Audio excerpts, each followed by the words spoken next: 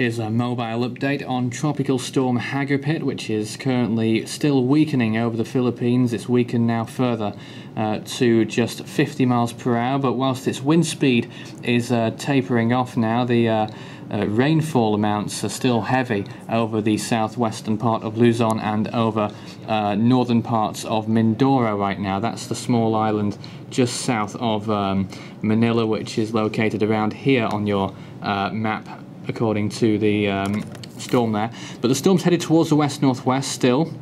Uh, passed over Marinduque overnight and is headed towards the South China Sea. It's going to traverse the South China Sea over the next few days and will end up reaching Vietnam as a weak tropical storm, uh, possibly a tropical depression as it heads towards Ho Chi Minh City and then towards um, Thailand, whatever's left of it, will then wash ashore the southern coast of uh, the southeastern part of Thailand um, as a very weak system indeed. Still could produce heavy rainfall there, but the main cause for concern remains in the Philippines. The storm right now is located somewhere around this dot here, just west of the island of Marinduque, and then the storm's expected to probably make another landfall just on that southern tip of uh, Luzon there, just a few uh, dozen miles south of Manila um, near its current intensity and then cross the South China Sea, gradually weakening as it does so.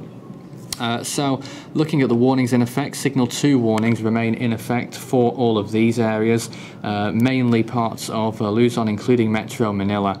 Um, and those are descriptions below as well. Rice and corn may be adversely affected, few large trees uprooted, large number of nipa and cogon houses partially or totally unroofed, and old galvanized iron roofs may roll off.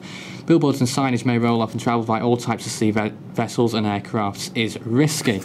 Uh, Signal 1 warnings still remain in effect for some other areas as well, mainly other parts of Luzon, such as Zambales on the uh, western coast there, uh, Pampanga further south, um, as well as the rest of Quezon, um, Mindoro, under Signal 1 and 2 warnings at this time, and that's for less severe conditions. No areas under Signal 3 warnings anymore, um, but still we could be seeing winds of 50 miles per hour, uh, higher gusts and uh, of course heavy rainfall is the main feature. You can see on this um, infrared Im imagery here that most of the heaviest rainfall is towards the northwest. So over the Manila area, Metro Manila in particular right now, we'll be seeing the heaviest of the rain from the storm at this time. You can see it also on this imagery too. Uh, so that's the latest update on typhoon or what's tropical storm Ruby, Philippine name, international name Hagupit. Of course, it was a Category 5 storm, is now only a tropical storm, but still has the potential to be dangerous. That's all for now. Next update will follow at 8pm UTC and it'll be a more proper update, what you're used to, but I feel like it was um, necessary to bring out a mobile update this afternoon. That's all for now.